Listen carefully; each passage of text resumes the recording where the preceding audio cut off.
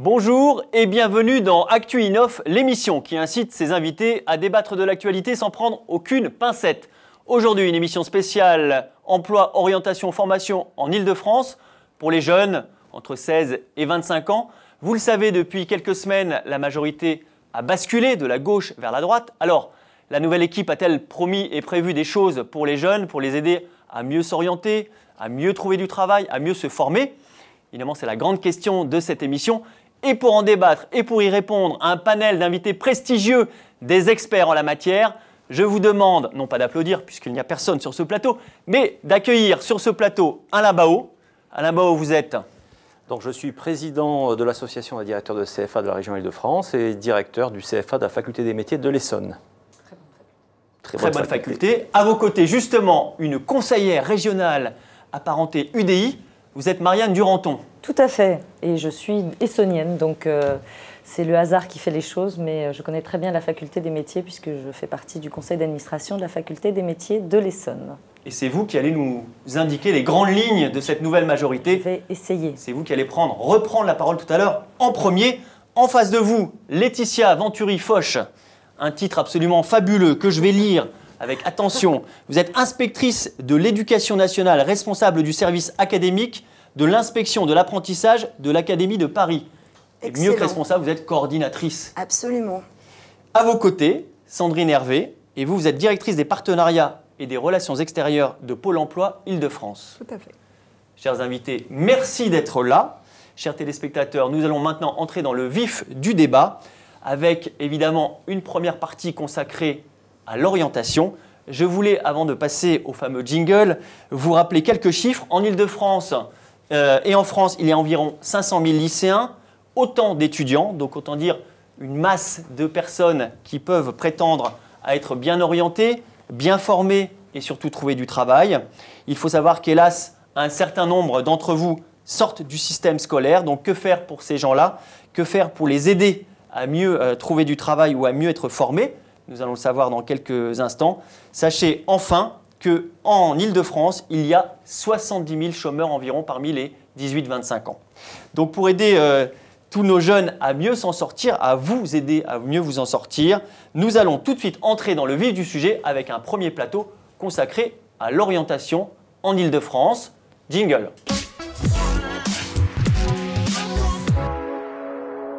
Retour sur le plateau d'Actu émission spéciale consacrée à l'orientation à l'emploi, à la formation en Ile-de-France, avec un panel d'invités experts.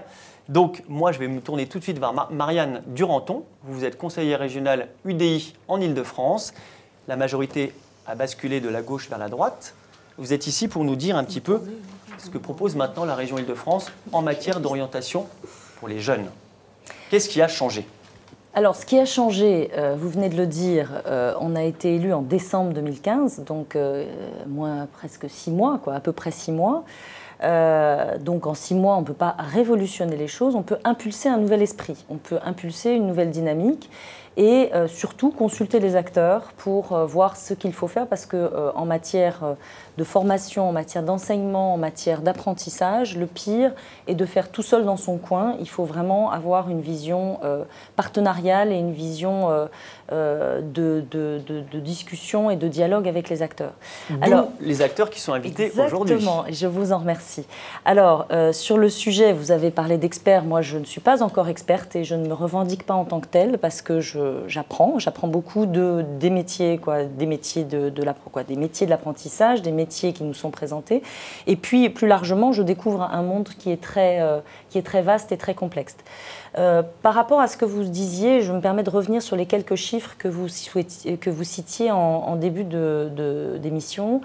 Euh, vous avez oublié un chiffre quand même, qui est, dommage, euh, qui est le 80 000 apprentis en Ile-de-France. Vous avez parlé des étudiants, vous avez parlé de ceux qui décrochaient, vous avez parlé des lycéens, mais vous n'avez pas parlé des apprentis. Or, l'apprentissage est une des orientations euh, qui est importante Cher à M. Bao, à Cher à M. Bao, qui a donc opiné du chef quand je lui ai dit ça, euh, et qui est importante. Et c'est important pourquoi, même dans ce débat sur l'orientation, parce que comme on va aborder ce sujet euh, dans, les, dans les, autres, euh, les autres séquences de, cette émission, je ne voudrais pas qu'on pense que l'apprentissage, c'est pour ceux qui ont décroché.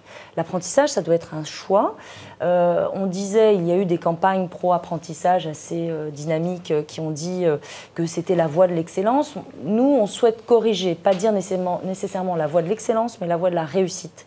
Euh, parce qu'aujourd'hui, on a, quand on fait de l'apprentissage, on a des, taux de résultats qui sont euh, des résultats tout à fait euh, exceptionnels en matière de diplôme et ensuite en matière de débouchés en emploi qui sont tout à fait importants.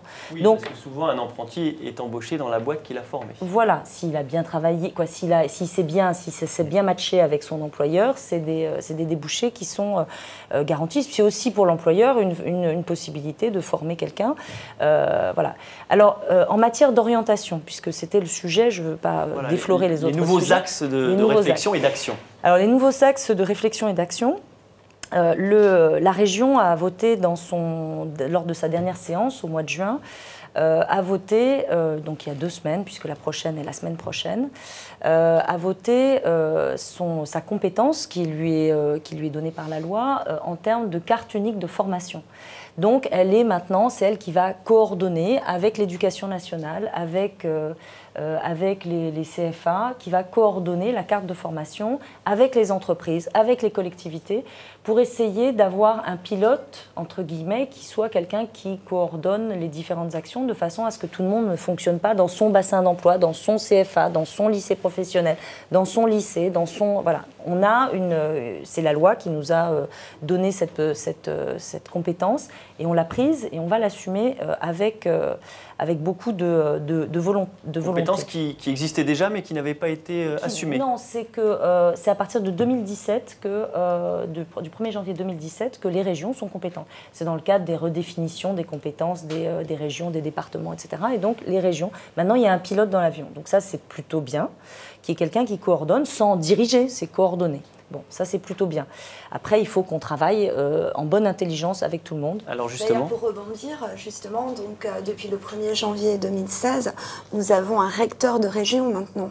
Et ça, c'est aussi important. Euh, c'est effectivement une volonté de coordonner nos cartes de formation respectives par académie. C'est essayer de donner du sens, effectivement, et de, de, prendre en considération aussi où sont les emplois, où sont identifiés les besoins des entreprises. Parce qu'effectivement, notre vocation première, c'est de former des jeunes pour qu'ils puissent s'insérer professionnellement. Et je me permets juste aussi de rappeler quelque chose, et c'est pour aller dans le sens euh, du propos qui vient d'être développé euh, là maintenant tout de suite, hein. c'est de dire que l'apprentissage fait partie de la voie initiale. Donc euh, c'est aussi très important.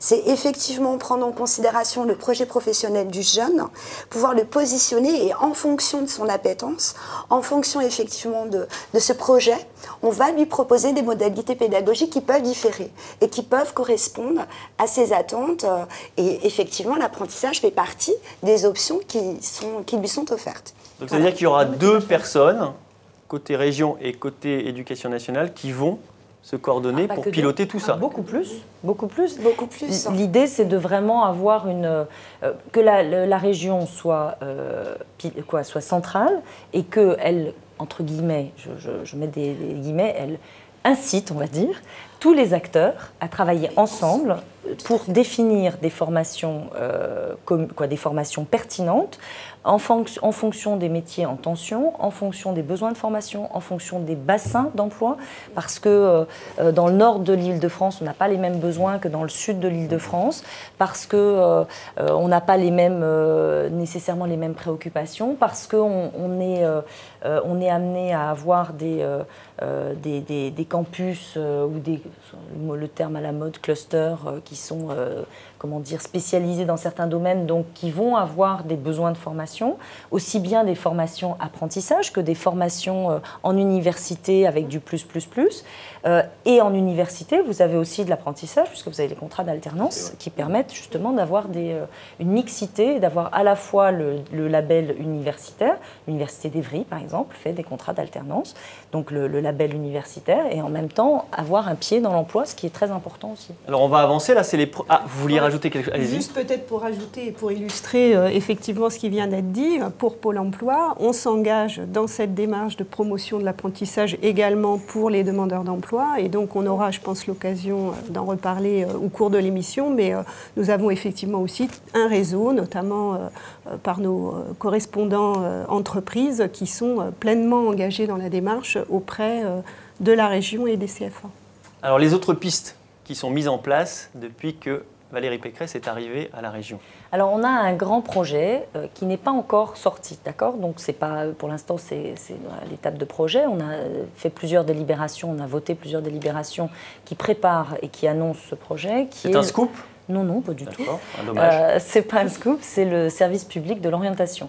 Donc, le service public de l'orientation, ça va dans le sens de la coordination, de euh, voilà, c'est de dire, euh, et on va mettre en place une plateforme euh, une plateforme sur laquelle on va recenser toutes les offres de formation qui existent, aussi bien euh, dans, euh, dans, le, dans, le, dans l'universitaire que dans, le, que dans les grandes écoles, que, que dans les, que dans les CFA, que dans les lycées professionnels, quoi. vraiment tout ce qui peut exister. Et si un élève de terminale qui est en train de galérer, excusez-moi, sur APB pour savoir où est-ce qu'il va aller plus tard, il veut avoir un outil qui soit. J'ai des enfants qui passent leur bac, donc euh, je connais APB. C'est du vécu. c'est du vécu. Euh, qui se demande où est-ce qu'il va aller. Il peut rentrer son profil et ce qu'il souhaite faire, et on va lui dire, bah, en fonction d'où tu es, tu es géolocalisé, eh bien, euh, tu as telle, telle structure qui peuvent correspondre à tes besoins, correspondre à tes attentes. Et donc, c'est en se disant qu'il faut communiquer aujourd'hui avec les outils que les jeunes connaissent et qu'ils maîtrisent beaucoup mieux que nous. Donc, c'est une plateforme d'orientation sur Internet voilà, ça s'appellera euh, Ça sera le service public. Comment SPRO. SPRO, oui, le service public de, régional, de l'orientation. SPRO, retenez bien SPRO. SPRO. On aura peut-être un nom plus. plus, plus... C'est affiché tel quel. Voilà, mais c'est affiché en tant que mais, Et que ça, donc, la, le, ça ne sera pas la région toute seule dans son coin qui va le faire, elle le fait avec tout le monde pour justement. Et puis, c'est quelque chose collaboratif qui sera amené à s'enrichir. Euh, moi, j'ai sollicité, et a priori, euh, euh, ça a été entendu, qu'on ait un panel de jeunes et de parents qui puissent se tester l'outil pour voir si l'outil correspond à la fois aux jeunes de moins de 25 ans, mais aussi à la ménagère de moins de 50 ans, et que ça soit accessible, parce que si c'est pas accessible, ça sera... Ce que nous, on a découvert en arrivant, c'est qu'il y avait énormément d'offres aussi bien d'orientation, de formation, de, euh, mais que tout ça était vraiment très... Euh, on avait des difficultés à trouver l'information. Donc ce qu'on veut, c'est pouvoir permettre la rassembler. Déjà si, on est, si on, déjà, si on fait ça, on aura fait beaucoup, de sorte que le jeune sache euh, où, euh, vers où il peut s'orienter, comment il peut s'orienter, qui il peut contacter, euh, quel est le profil, etc. Mais je ne veux pas monopoliser. Alain Bao, vous, vous, aviez déjà justement noté qu'il fallait un petit peu renforcer tout cela? Absolument. Donc, vous l'avez dit vous-même, en fait, l'apprentissage est très efficace en termes de taux de réussite aux examens, en termes d'insertion professionnelle, en fait. sauf qu'il souffre encore d'un déficit, un déficit d'image, un déficit, je dirais, d'orientation. Euh, euh, il est vrai qu'il est, important de pouvoir travailler en amont euh, sur l'information, puisque de la qualité de cette information, de son exhaustivité, dépendra la pertinence des choix faits par les familles et les jeunes. mais pas parler seulement des formations, mais parler aussi des métiers. Et comme vous le disiez, il est important de pouvoir articuler l'ensemble avec tous les acteurs, parce que certes, les formations, c'est une chose, et en général, les CIO, les professeurs, dans les, euh, euh, les professeurs principaux dans les collèges savent parler plus aisément de formation, mais pas forcément des métiers, des métiers de leur débouché. Euh, sur un territoire donné, il peut y avoir des métiers plus ou moins porteurs. donc, quand on est dans le sud de l'île de France, c'est pas la même chose que, dans l'est ou dans l'ouest ou le nord. Et donc, la, valeur ajoutée qu'on peut attendre d'un service public régional de l'orientation, c'est de pouvoir justement articuler tous ces éléments-là, de manière à pouvoir non seulement parler des formations qui y conduisent, mais surtout des métiers et des opportunités d'emploi euh, liées à tel ou tel territoire. En fait. Et ça, ce sera un vrai plus? Donc ça, ce sera un vrai plus puisque euh, on pourra euh, communiquer de manière plus pertinente j'imagine aussi qu'on peut, on pourra solliciter des professionnels pour parler de leur métier et ensuite les CFA, les, les, écoles, les établissements pourront aussi parler des formations qui conduisent à ces métiers. Pour réagir, Madame la ministre de l'Éducation nationale, dans sa circulaire de rentrée qui sera effective donc à la rentrée scolaire 2016, a émis le souhait qu'il y ait un réel rapprochement entre CFA, collège et lycée. Donc euh, c'est vrai qu'on travaille aujourd'hui, alors je vais parler un peu de l'Académie de Paris, euh, même si bon, on parle au sens large de, la région Île-de-France, mais en tout cas, euh, sur Paris, on, met en œuvre déjà ça. À titre expérimental, on a monté un partenariat avec quelques métiers, effectivement, qui ont été détectés comme en tension. Et on a commencé à travailler avec certains collèges. Donc déjà, il y avait des jeunes qui étaient pressentis, qui avaient émis le souhait d'aller en apprentissage dans une poursuite d'études. Et on les a mis en rapprochement avec certains CFA pour les accueillir, leur présenter les différentes formations euh, possibles donc euh, au sein des CFA. Et pour le coup, ça donne du sens parce que le jeune travaille déjà en amont son orientation. Par ailleurs, pour compléter également cette volonté de communiquer sur les métiers, rebondir sur ce que vous disiez, Monsieur Bao, il y a le parcours à venir maintenant. C'est la réforme du collège. C'est dès le départ, à l'âge le plus précoce, on va dire, plus jeune, on essaye d'informer les, les jeunes, les jeunes adolescents sur les possibles, de manière à ce qu'ils puissent mûrement euh, se positionner et construire euh, ce projet professionnel, personnel. À chaque fois, j'insiste bien sur cette notion-là, notion pardon, parce que ça me paraît essentiel. Euh, on ne peut pas imposer effectivement à un jeune fais ceci, fais cela, ou il faut qu'il puisse mûrement réfléchir. Et pour qu'il puisse réfléchir, il faut qu'il ait multiples propositions qui s'offrent à lui. donc ça, c'est essentiel. Et on travaille en ce sens. Mais et, pour l'emploi, justement, que vous représentez, c'est rassurant comme discours Ça vous semble bah, concret? Moi, je suis ravie d'entendre euh, ces éléments-là, puisque en fait, je me faisais la réflexion suivante. En fait, la démarche faite pour des jeunes euh, lycéens c'est la même pour des demandeurs d'emploi. Ils ont besoin de quoi De ce partenariat. Je pense que là, du coup, on a les bases qui sont vraiment posées en disant on parle finalement de quoi De la même chose. On est dans les mêmes démarches. On est dans une recherche de personnalisation de services, dans une recherche de démarche d'accompagner un projet professionnel. Je pense qu'on a pas mal de leviers, on vient de, le dire tout à l'heure, euh, on a pas mal d'outils, euh, on a la volonté de travailler ensemble. Euh, je pense qu'il faut donner de la visibilité à toutes ces personnes pour effectivement avoir accès à l'information, pouvoir illustrer les filières qui embauchent, les filières d'avenir, les filières qui peuvent du coup accueillir ces jeunes. Et il y en a. les démarches entreprises de, de pouvoir comme ça faire venir des personnes qui viennent présenter leur métier. Je pense qu'on est tous pleinement engagés dans cette même démarche et ça, ça, motive et ça paye. Euh, donc voilà, enfin, là je me dis, on est vraiment très très proches les uns et les autres dans l'approche euh, commune. Alors justement, on va bientôt clore le chapitre orientation. Alain Mao, je vous redonnerai la parole. Est-ce qu'il y a d'autres choses que vous avez mises en place depuis que vous êtes arrivé Non, mais je voulais rebondir sur ce que disait euh, Sandrine. Voilà. Ça y est, je me suis pas Sandrine Hervé, qui est directrice des partenariats et relations extérieures Pôle emploi Île-de-France. on a souvent, et ça, ça, concourt à l'orientation, on a souvent une fausse image, notamment de l'apprentissage ou des, métiers. Euh, les jeunes ont une fausse image parce que bah, c'est, euh, il faut passer ton bac, il faut avoir ton bac, c'est ça qui est bien, c'est d'avoir ton bac. On doit avoir une classe d'âge à 90 points. Oui, c'est pas nécessairement ça. Bon. Et euh, je, suis, je, suis au conseil d'administration d'une mission locale. Donc, mission locale qui s'occupe des jeunes sur lesquels vous travaillez, qui est en lien avec Pôle emploi, en partenariat. Et euh, ce que me disait la directrice de la mission locale, c'est qu'elle a fait des bus pour l'emploi, des bus euh, de découverte des métiers. Et donc, qu'est-ce qu'elle fait? Elle prend, elle a 15, 15 jeunes qui sont en recherche d'emploi, d'insertion, donc c'est des jeunes en difficulté. Ils partent en bus, ils vont par exemple, nous sommes en Essonne, visiter le centre Renault Lardy, euh, qui est un centre de, euh, de, construction automobile.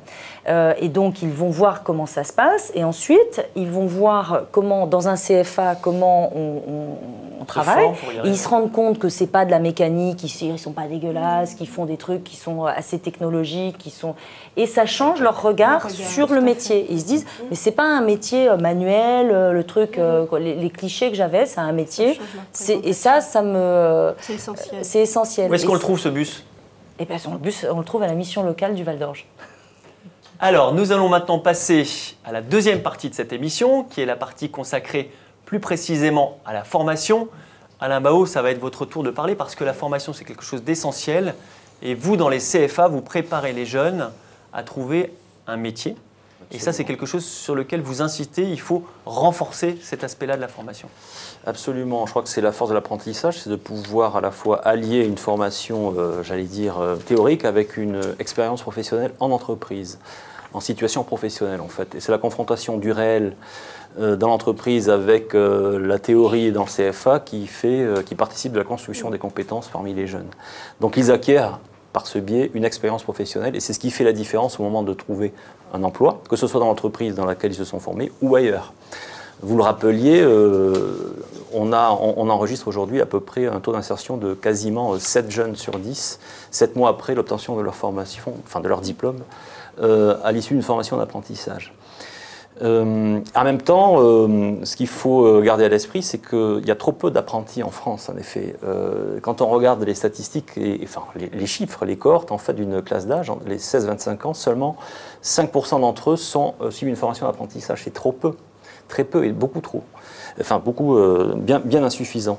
Donc, euh, il y a à travailler euh, vraiment sur, sur l'information, la qualité de l'information qui doit être la plus complète possible sur la réalité de l'apprentissage. Peut-être avec la région, justement. Alors, justement, nous en parlions avec la région, avec les acteurs et les centres de formation qui, évidemment, d'ailleurs, tous les ans, ouvrent leurs portes pour accueillir le public et parler des métiers. Ils invitent aussi à cette occasion-là des professionnels pour parler des métiers et des formations qui conduisent à ces métiers. Je le rappelle, la formation d'apprentissage euh, aboutit, euh, d'abord ça permet de préparer des diplômes qui vont du, CAP au bac plus 5, en passant par toutes les, palettes de, métiers, les bacs pro, le BTS, les licences pro, les masters, etc.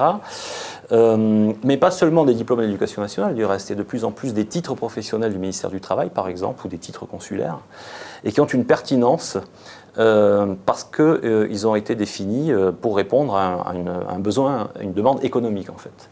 Donc c'est bien, il faut bien insister sur la dimension diplômante certifiante en fait de la, de la formation d'apprentissage. On est bien dans la formation initiale, c'est ce qui fait aussi la force parce que ça confère aussi une garantie en termes de d'enseignement, de, culture générale, de savoirs généraux, parce qu'on prépare aussi des futurs citoyens par l'apprentissage. Ce sont aussi évidemment des professionnels, mais pour lesquels on veut qu'ils soient dotés, je dirais, de bagages suffisants, d'une culture suffisante pour exercer leur citoyenneté pleine et entière, si je puis dire. Alors, qu'est-ce que la région nouvellement nommée a prévu pour la formation des jeunes en Ile-de-France? La réponse tout de suite avec nos invités et tout d'abord un jingle.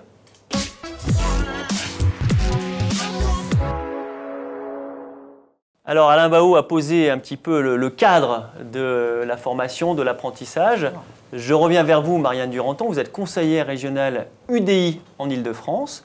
Depuis que vous êtes arrivée, quelles sont un peu les pistes, un peu comme vous les avez explorées pour l'orientation, en matière de formation pour les jeunes? Alors dans les pistes, il y a euh, ce que, ce que je vous ai énoncé précédemment, c'est-à-dire la carte unique de formation déjà. Euh, il y a l'action qui a été, alors qui est, parce qu'on est, l'orientation, la formation, on est vraiment dans des, ah, c'est C'est un peu la même chose, mais on va explorer un peu plus. Euh, il y a l'action qui a été qui a été lancée par Valérie Pécresse, qui est 100 000 stages pour les jeunes. C'est de dire quoi? Et là, on a vraiment une, comment dire, une une position, la région qui peut être prescriptrice. C'est-à-dire que nous aujourd'hui aujourd'hui, on conventionne avec plein d'organismes qu'on subventionne euh, pour des actions, des associations, des, euh, structures, etc. Et on leur dit, OK, on veut bien, on, va vous subventionner, mais en, retour, vous allez prendre un stagiaire, deux stagiaires, trois stagiaires en fonction de la hauteur de la, subvention et de la capacité de la structure à prendre en charge des, stagiaires.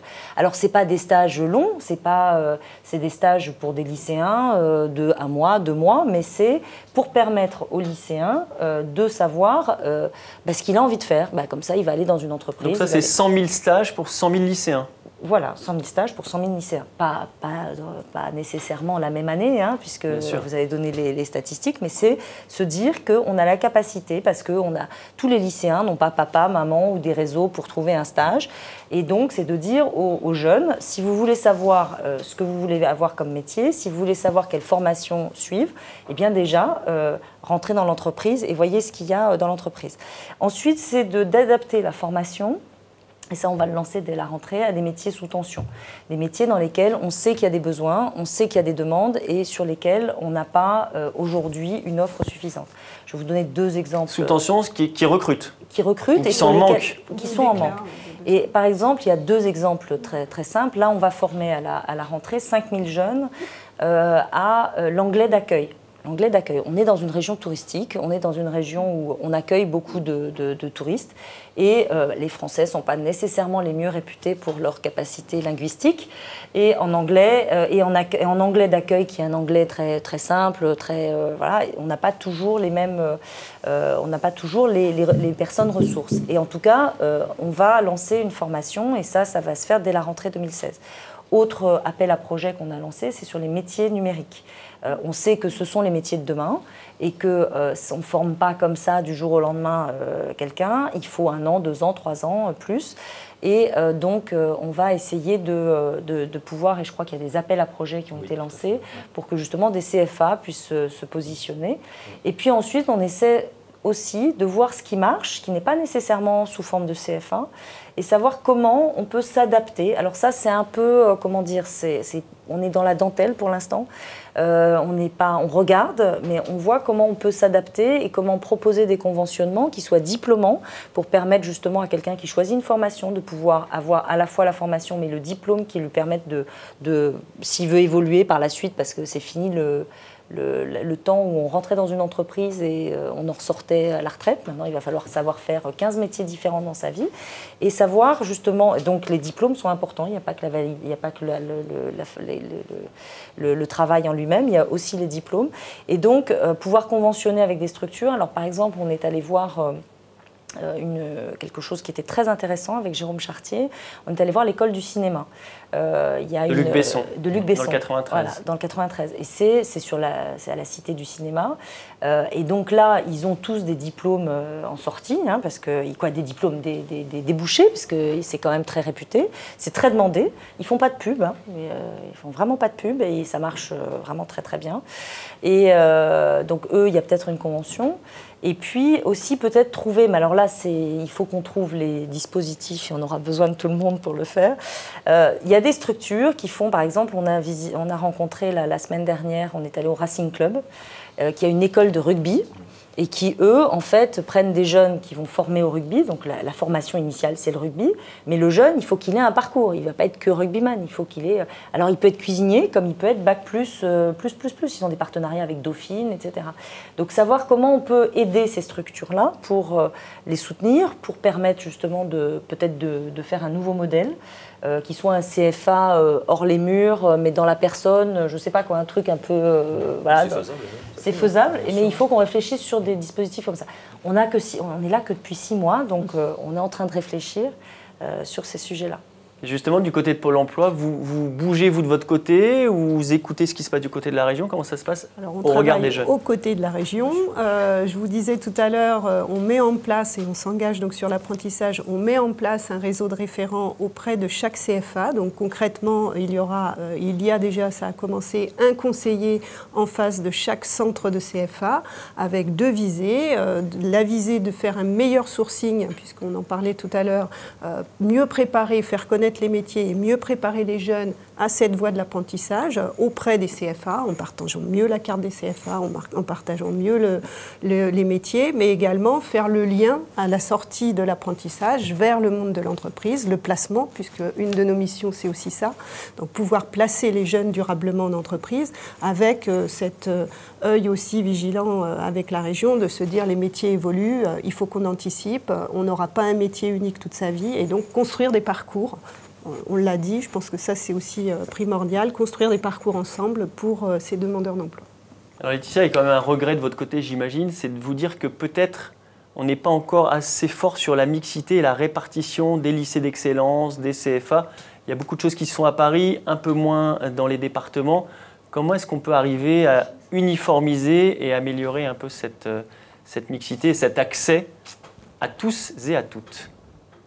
Écoutez, moi je crois que de toute façon, euh, c'est compliqué. On essaye de mettre effectivement en œuvre tout un tas de dispositifs pour euh, faire qu'il y ait des mixités publiques, des mixités de parcours. Donc ça, on y croit beaucoup. On a des dispositifs très intéressants, euh, notamment pour endiguer, pour endiguer pardon, quelques difficultés, notamment sur des signatures de contrats à trois ans sur le bac pro. Donc on essaye de faire, par exemple, d'offrir à un jeune la possibilité de faire une première partie de son cursus en temps plein scolaire et la possibilité ensuite de continuer en apprentissage. Donc ça, ça peut Sans mélanger les deux, mais l'un après l'autre. Donc euh, il est vrai que on va essayer de... Bon, les passerelles existent, hein, euh, de fait, euh, depuis fort longtemps. maintenant, elles sont peut-être pas exploitées. on pourrait davantage creuser les choses, me semble-t-il. Hein. donc, voilà, ça, euh, ce sont des idées intéressantes qui permettent justement bah, une mixité publique, une mixité donc euh, de différentes, euh, différents horizons de, personnes qui est intéressant. Après, les inégalités, Paris on a quand même une offre de formation qui est très très concentrée au niveau universitaire, donc ça répond aussi à la population actuelle qui, y réside. Les, métiers infrabac sont peut-être pas autant développés que sur d'autres régions, donc c'est aussi le bassin d'emploi et c'est aussi l'installation des, des, enfin, du tissu économique présent qui va, je dirais, conditionner l'offre de formation. Donc, Mais il y a peut-être moyen d'aller plus loin encore. C'est un enjeu dans, le moyen d'aller plus loin, je pense qu'il faut vraiment, euh, il faut vraiment laisser aux jeunes, donner aux jeunes la possibilité de s'orienter et de, de, se former comme ils le souhaitent. Euh, et comme il, sent que euh, ça, va lui, ça va lui correspondre. Moi, je vais vous donner un exemple qui m'est personnel. J'ai ma fille qui est en première là et qui il y a deux ans, qui était en lycée en, seconde, me dit je veux faire de la, je veux faire ST2A, donc passer en filière technologique en me disant tu vas pas aimer. Euh, je lui dis écoute, si c'est ton choix, euh, pourquoi pas euh, Voilà, maintenant tu te donnes les moyens de le faire. Avoir un enfant qui part tous les matins, parce qu'elle est sur Paris, j'habite en Essonne, parce qu'on n'a pas trouvé en Essonne ce qu'il fallait, donc elle est sur Paris, qui part tous les matins avec le sourire comme ça, qui revient, qui est en mode projet en permanence, qui se donne à fond dans ses études parce que ça lui plaît, c'est juste génial. Et je pense que chaque parent euh, doit se dire bah, c'est ça que je veux pour mon enfant. Mais et tous les enfants ne sont pas capables de savoir ce qu'ils veulent. Ben oui, mais c'est pour ça qu'il faut, travailler, faut travailler en amont. projet professionnel en personnel, encore une fois. Et puis sur, sur casser un peu les, euh, les idées reçues, les, préjugés. Parce que quand elle est, moi je les écoute les jeunes, euh, bon voilà, quand elle est dans, dans, dans ce truc-là où on est tous très fiers de ce qu'elle fait, elle me dit ouais de toute façon je sais que vous trouvez que c'est de la je dis non, c'est pas c'est pas du tout c'est pas du tout ça. Tu vas faire quelque chose qui va te plaire dans lequel tu vas avoir des diplômes dans lequel tu vas construire ta vie et c'est formidable. Donc il faut pas parce qu'on est toujours dans, ce, dans cette filière généraliste. Donc nous ce qu'on veut c'était un exemple nous ce qu'on veut c'est euh, montrer qu'il y a plein de possibilités. Que alors je, sais qu'à la faculté des métiers par exemple ils ont développé un euh, une année avant la possibilité euh, préparatoire, à l'apprentissage, où justement des jeunes qui ont 15 ans viennent et ils testent un peu tout pour savoir euh, quel est leur, euh, en quoi, en quoi ils seront, ils seront bien. Il y a aussi des possibilités, comme vous le disiez, de passer de la filière, de la filière générale à la filière professionnelle, filière professionnelle retournée dans le général, avoir des CFA. Moi, j'ai sur mon, sur mon, en Essonne, j'ai visité le lycée Monge. Euh, qui est euh, un lycée professionnel, mais qui a, des, qui a un CFA chez lui aussi, qui est le CFA hors les murs. Donc c'est être capable d'avoir euh, des, des, palettes différentes. Donc plus de souplesse, moins de préjugés. Exactement. On est allé au Garac, on en parlait tout à l'heure. Le Garac, c'est à Colombes. Euh, c'est dans le 95, je ne sais plus si c'est Colombe ou Bois-Colombes, euh, qui est un, euh, une structure qui est spécialisée dans les métiers de l'automobile.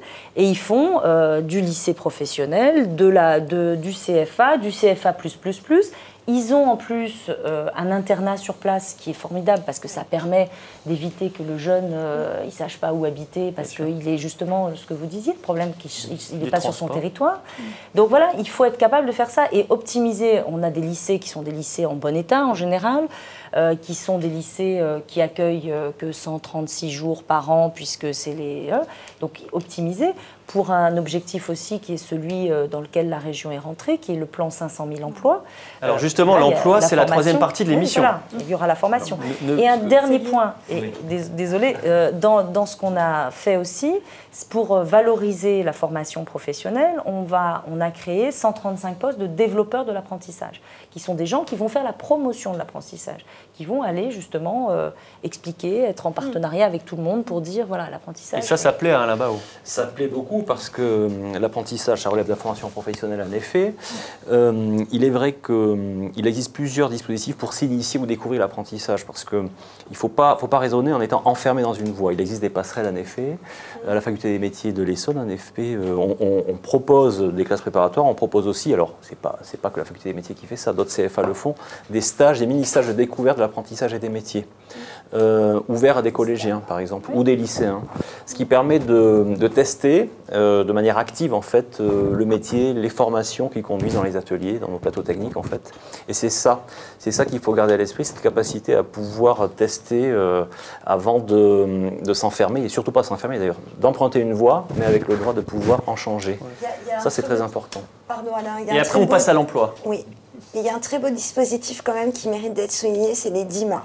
Oui. Dispositifs d'initiation au métier de l'alternance, euh, qui sont également euh, un dispositif formidable qui permet aux jeunes de se chercher et de trouver sa voie. Donc, euh, il est toujours sous effectivement un rattachement scolaire puisque c'est offert aux, aux jeunes qui n'ont pas terminé leur, leur cycle de collège. Donc, ils vont en, CFA, ils découvrent donc des métiers, des branches, enfin des, des courants euh, professionnels, des métiers, ils se, ils se documentent, ils s'exercent, ils se frottent réellement au terrain, et puis in fine, ils se positionnent.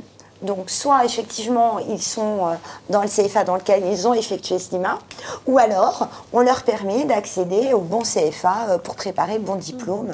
Et ça c'est quand même euh, intéressant comme dispositif. On peut déplorer que les DIMA soient en chute libre en termes d'effectifs parce que les conditions pour accéder aux DIMA se sont un peu durcies et même Voilà, beaucoup alors, durcies si je puis Je dire. pense et qu'il y aura des pratiques harmonisées. Voilà. Là, je me permets d'être, de sortir un peu bon, de ma posture parisienne. Je pense que très certainement, il y aura des, des pratiques harmonisées. En tout cas, il y a, il y a une réflexion commune. Après, juste, un petit, juste une dernière, euh, un, un outil qui est- auquel je pense pour des demandeurs d'emploi qui peut aussi être mobilisé, auquel vous- on ne pense pas peut-être spontanément, c'est l'immersion au milieu professionnel. Pour découvrir des métiers, euh, franchement, utiliser cet outil-là, il n'y a rien de mieux pour venir découvrir en réel dans une entreprise les- la réalité d'un métier et son exercice. Voilà, Alors, je ne dirai donc- euh, pas plus. Donc ça veut dire que les, les étudiants, les jeunes seront bien orientés, bien formés. Vont-ils trouver un emploi grâce à tous ces dispositifs? Nous allons le savoir dans cette troisième partie d'émission consacrée à l'emploi des jeunes en Ile-de-France. Jingle.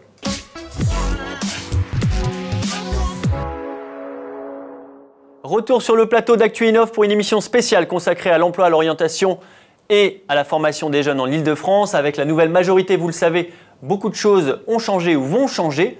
J'ai donc l'honneur de recevoir sur ce plateau Marianne Duranton, qui est conseillère régionale Ile-de-France, apparentée UDI. Pas apparenté. Ah, vous êtes complètement UDI. Et au- j'aimais bien le mot apparenté. Et autour de vous, vous avez donc euh, Alain Bao qui s'occupe des CFA. hein, je résume un petit peu. Vous, euh, Laetitia, c'est plutôt la partie euh, éducation nationale. Oui, alors je rappelle juste que c'est le contrôle pédagogique des formations pour euh, bien comprendre le rôle et la mission de l'éducation nationale au regard de cette problématique de l'apprentissage. Vous faites bien de le souligner en tant que coordinatrice. Tout à fait. Et à vos côtés, Sandrine Hervé, qui est Pôle emploi Île-de-France. J'exagère un peu, je résume un peu, mais vous aurez vos petits noms en dessous. Donc, la région vient de changer de majorité. Qu'avez-vous prévu pour l'emploi des jeunes? Qui vont déboucher, qui vont arriver sur le marché du travail après une bonne orientation et une bonne formation Alors, bah, après une bonne orientation et une bonne formation, normalement, euh, il n'y a plus de soucis. Sauf que, Ah, sauf, il y a un il sauf. faut quoi? Il faut du, de l'emploi. D'accord? Donc, notre premier vi- vice-président, qui est euh, Jérôme Chartier, c'est pas neutre et vice-président chargé du développement économique, de l'emploi et de la formation professionnelle. Parce qu'il n'y a pas de formation, il n'y a pas d'emploi sans formation professionnelle et il n'y a pas d'emploi sans développement économique. Donc, c'est un tout, c'est une cohérence. Et euh, c'est ce qu'on essaie d'impulser euh, depuis, depuis six mois, de, bilan de ces six mois. Euh, alors qu'est-ce que vous avez prévu? Alors pour ça, on a mis en place, euh, on a essayé de simplifier tout ce qui existe. D'accord? De dire, voilà, il y a plein d'aides. Euh, on est allé à la rencontre des, entreprises, euh, on est allé, et donc ils nous ont dit, oui, mais alors, euh, quelles sont les aides que vous pouvez nous accorder? Bon, et en fait, les aides, il y en a plein. Donc on a essayé de dire, on va essayer de simplifier les aides et faire quatre blocs, d'accord? Alors je ne les connais pas par cœur, hein, je suis désolée. Il y a, Alors il y a emploi tremplin euh, c'est les, emplois en général, d'accord?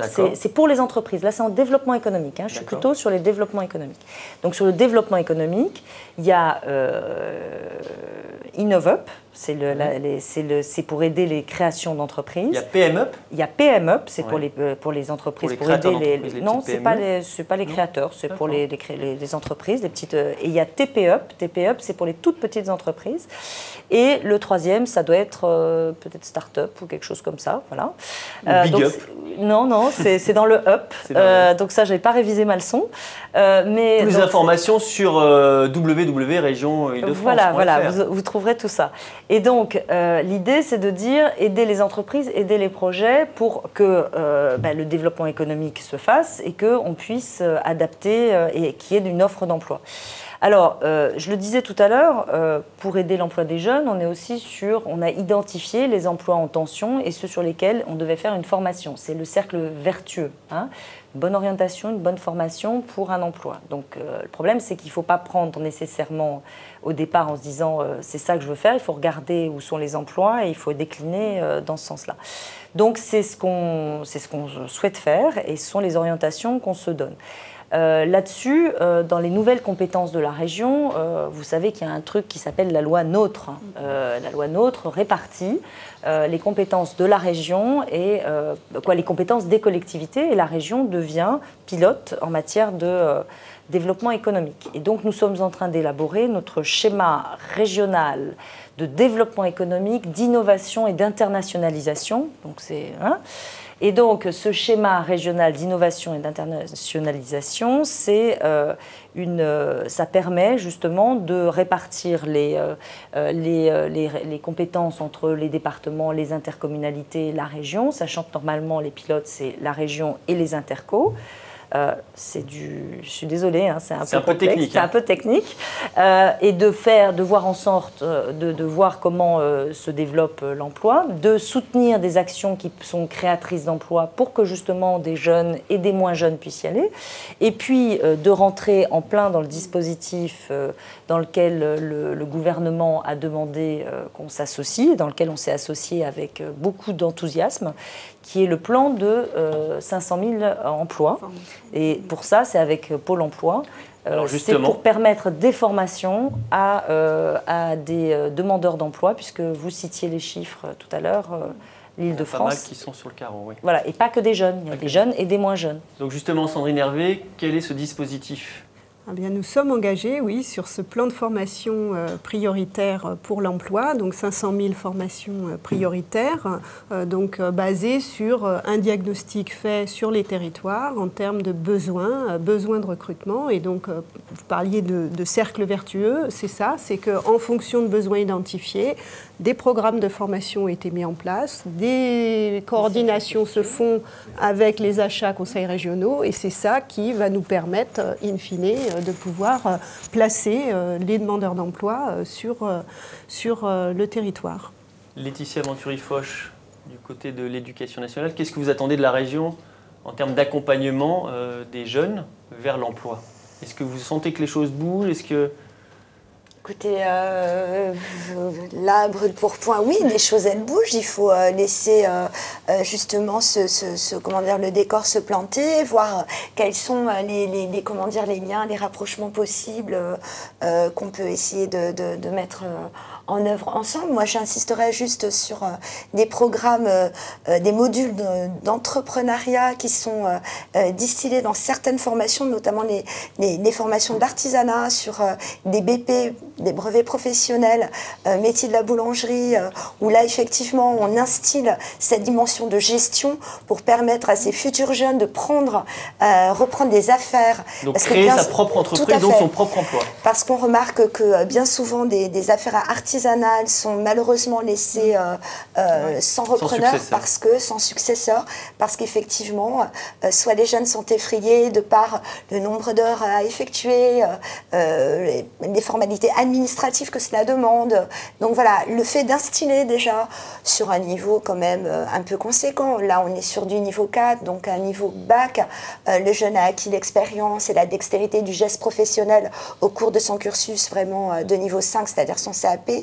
Il mais monte assez en gamme. tôt quand même. Tout à fait, mais il monte en gamme et pour autant, euh, le BP, il lui permet d'approfondir sa dextérité au niveau du geste professionnel, mais en même temps de compléter sa formation par des, euh, des outils de gestion qui lui sont absolument nécessaires s'il souhaite se projeter sur une dynamique professionnelle insérante après.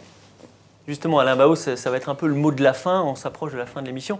Vous, vous attendez quoi précisément de la région? Parce que, j'insiste, vous êtes vraiment sur le secteur de l'apprentissage, il y a encore des choses à faire. Quelles sont les priorités, les urgences là dans les, dans les semaines à venir? Il y a des urgences à, gérer, bien sûr, mais euh, ce que, ce que l'on peut dire, c'est qu'au niveau des CFA en général, euh, nous, nous sommes très réactifs et on répond euh, à, la demande économique d'un territoire donné.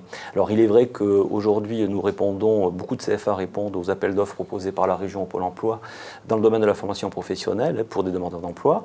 en formation initiale, puisque nous sommes en connexion, en prise directe avec les entreprises, bah, on répond aussi à la demande économique. Il faut savoir que qui dit apprentissage dit contre-apprentissage. Si on propose des formations où il n'y a pas une demande économique, on ne peut pas, euh, on peut pas tout simplement euh, dispenser la formation puisque euh, elle n'aurait pas de sens cette formation-là. Donc, enfin, vous avez quand même une inquiétude, c'est que le nombre d'apprentis baisse. Alors, le nombre d'apprentis a baissé. Il faut savoir que le nombre d'apprentis a baissé ces trois dernières années.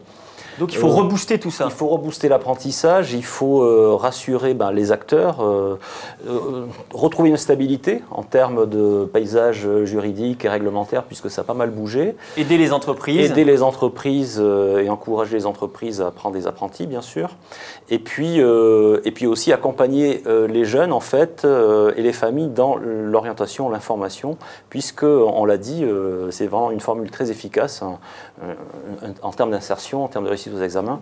L'apprentissage, c'est quand même vraiment, euh, alors c'est peut-être pas la panacée, mais en tout cas, c'est un dispositif qui fonctionne très très bien et qui, hélas, aujourd'hui, est sous-utilisé. Donc Marianne Duranton, là, vous allez peut-être aussi booster votre action du côté euh, de l'apprentissage? Je ne sais pas si on va la booster, on la booste, on, la booste très fort. Euh, c'est une grande ambition de Valérie Pécresse. Aujourd'hui, on le disait, 80 000 euh, apprentis euh, aujourd'hui. L'ambition, c'est d'ici 2020 d'être à 100 000, donc 20 000 de plus par an, 100 000, 80 000 par an, donc 100 000 par an. Donc ça, c'est une grande ambition. Retrouver un peu les, les, comment dire, les retards qu'on a eus ces dernières années, malheureusement. Pour ça, c'est communiquer, c'est des grandes campagnes de communication, c'est des campagnes de sensibilisation des différents acteurs. C'est des campagnes d'écoute des CFA et je pense que la région, dans sa nouvelle euh, dynamique, essaie de, retrouver, quoi, de trouver un vrai dialogue avec les CFA, c'est-à-dire faire confiance à ceux qui connaissent, faire confiance aux acteurs, ne pas, être, euh, ne pas avoir un tropisme parisien et de la rue Barbet de Jouy. D'ailleurs, on n'est bientôt plus rue Barbet de Jouy, donc euh, il va falloir que le tropisme y soit ailleurs. et dire, voilà, c'est comme ça qu'il faut faire, ne pas être incantatoire, mais écouter les territoires, écouter les acteurs, écouter les professionnels et les demandeurs. Euh, et, avoir une souplesse, c'est-à-dire ne pas avoir une vérité absolue, ne pas se dire c'est ça qu'il faut faire et je n'en démordrai pas, c'est être capable de dire ben, ça a marché, oui, mais peut-être pas complètement. Il faut peut-être réajuster un petit peu. Puis ça, ça marche, ça, ça marche pas. Euh, moi, vous savez, dans une vie antérieure, je travaillais avec Martin Hirsch. J'ai fait le, on avait fait le service civique. Le service civique. On avait fait le livre vert de la jeunesse. Et c'est ce qu'on nous disait. On nous disait soyez souple, parce que la vérité d'un jour n'est pas nécessairement celle. Le marché de l'emploi bouge, les choses bougent beaucoup, et il faut être en capacité de répondre. Et je dirais, euh, pour conclure de mon côté, qu'il faut une grande ambition pour les jeunes, une grande ambition pour la formation, pour l'enseignement supérieur, une grande ambition, mais beaucoup de modestie. Voilà. Donc beaucoup de modestie, mais de l'information. C'est pour ça que MCE et Demain sont là. N'hésitez pas à revenir sur ce plateau. Je vous rappelle votre engagement 100 000 apprentis d'ici à 2020. Je vous réinviterai pour vérifier. Je vous remercie d'être venu sur ce plateau. Merci à tous ceux qui m'ont aidé à préparer cette émission. Je pense notamment à Eva Fleury et Alain Martin du CERFAL. Merci à toutes et à tous, à la réalisation Anthony Manassero, euh, à la script Anne Lacroix, au maquillage Héloïse Bonchablon. Et tous ceux qui sont derrière les caméras. Je les salue et je vous dis merci. Et à bientôt pour un prochain Actu Merci, au revoir.